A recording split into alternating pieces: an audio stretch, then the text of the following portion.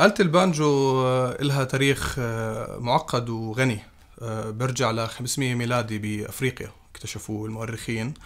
وانشهرت ب 1850 بآخر القرن التاسع عشر عن طريق الأفريقيين الأمريكان. وبعد بكم من سنة الأوروبيين الأمريكان أخذوا الآلة طوروا عليها واشتغلوا عليها. واحد من أكبر أسرار البانجو بعتبر إنها آلة وجدانية. يعني بتقدر تعزف عليها بكل أنواع المشاعر. مش الصورة النمطية المربوطة فيها إنها آلة بس يعني آلة مرحة فأتوقع هذا من أهم الأشياء اللي أو أهم الأسباب اللي خلتني أعزف على الآلة